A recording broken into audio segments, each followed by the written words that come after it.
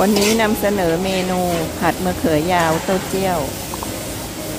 ไปงานขาวดำค่ะ ที่งานเขาผัดมะเขือยาว เต้าเจี้ยวน่าทานมากๆถ่ายมาให้เพื่อนๆได้รับชมนะคะ ใส่ใบโหระพาหอม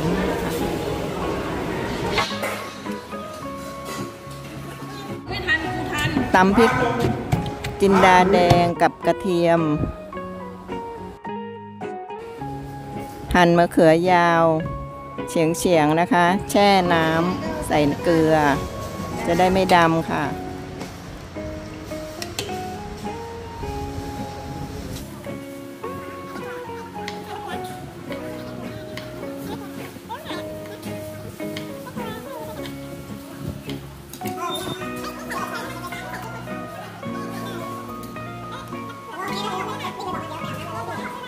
เอามะเขือยาวไป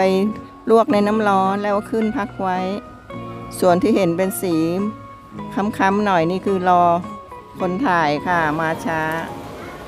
เอาพริกที่เราตำไว้ไปผัดในน้ำมันให้หอมเลยนะคะ ใส่เต้าเจี้ยวลงไปผัดกับพริก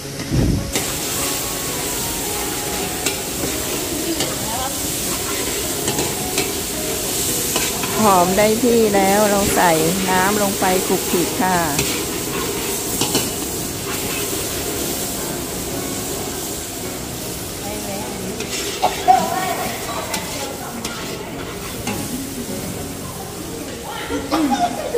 ปรุงรสด้วยน้ำตาลทราย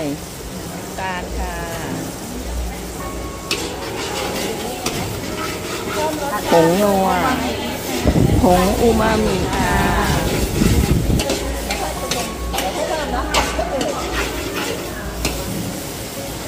ใส่มะเขือยาวลงไปผัด วันนี้เราผัดกระทะใหญ่เลยค่ะ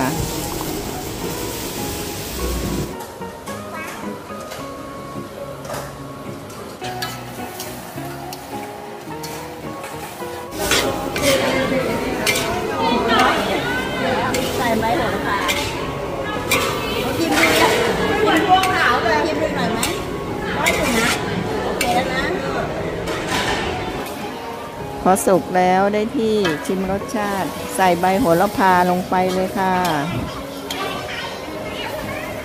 ใบโหระพาหอม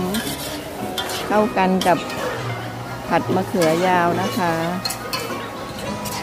เทใส่ถาดค่ะรอเสิร์ฟ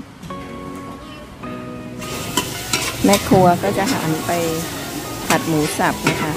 เอาไปโรยข้างหน้า หมูสับ ผัดหมูสับใส่น้ำเล็กน้อย ใส่ซีอิ๊วขาว และน้ำตาลเล็กน้อย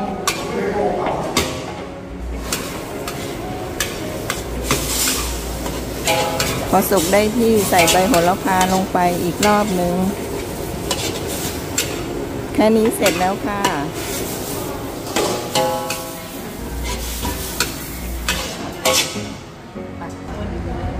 เอาไปราดบนมะเขือยาวค่ะ จะสวยเหมือนที่ร้านทำเลยนะคะ